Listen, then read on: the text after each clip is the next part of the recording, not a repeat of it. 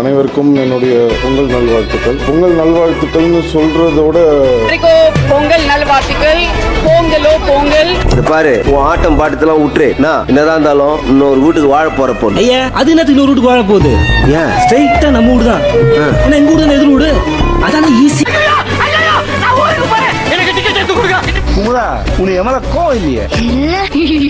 உங்களை ஹாப்பி என்னச்சு உங்களை ஹாப்பி